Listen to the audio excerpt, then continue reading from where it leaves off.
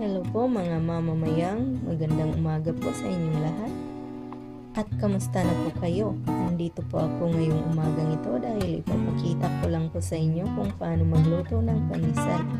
Unang-una sa aking mga sangkap sa pandesal na lulutuin ko ngayong umaga, 5 cups ng bread flour, 2 tablespoon ng asukal na puti, 1 teaspoon ng vanilla flavor, kalahating cup ng butter, 2 eggs, tapos uh, 1 teaspoon ng asin, 1 and a half cup ng fresh milk, breadcrumbs, at saka pampaalsa.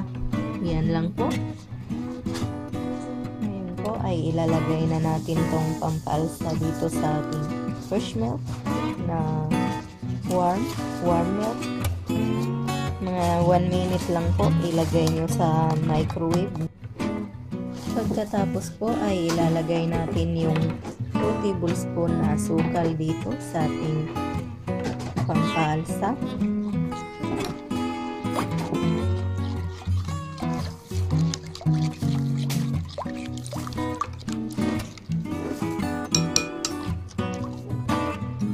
po ay pabubulain lang natin to ng mga 3 to 5 minutes.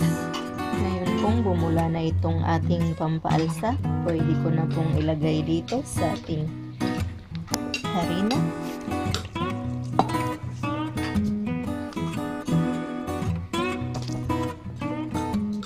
Ngayon po ay hahaluin na natin ito. Ngayon po ay ilalagay na natin itong itlog natin.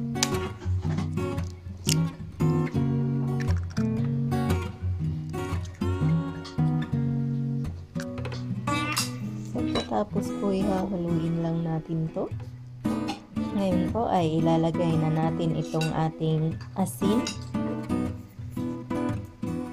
At saka itong ating butter.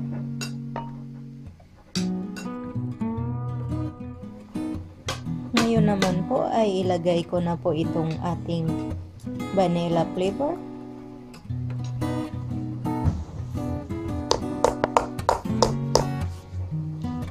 Tapos haluin lang natin.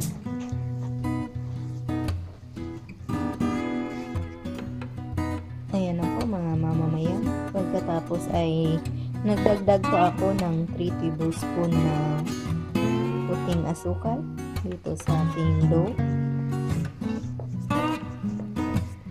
Ngayon po mga mamamayan, gagamitan po natin to ng kamay para mas maganda po ang texture.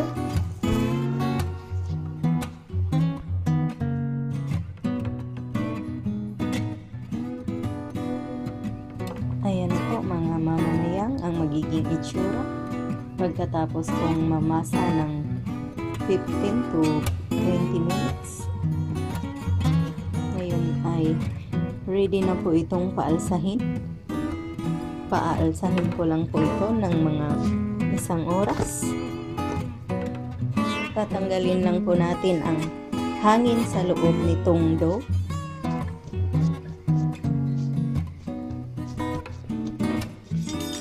Tapos ay hihiwain natin ito.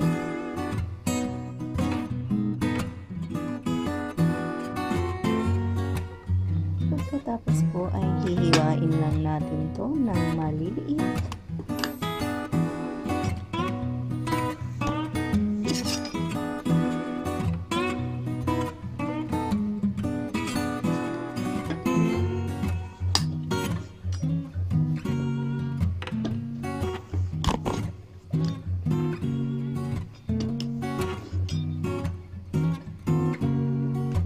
Tapos po ay easy shape lang natin to na parang pandesal. Tapos ilagay ko yung ano dyan, breadcrumbs.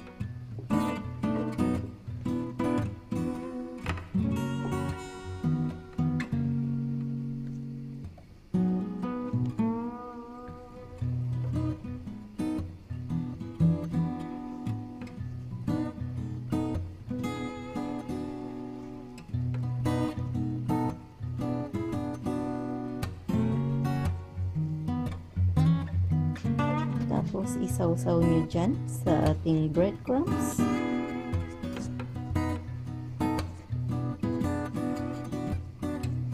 Tapos ganyan na po ang magiging itsura niya. Tapos magiging ganyan na po ang itsura ng ating pandesal dough mga mamamayan.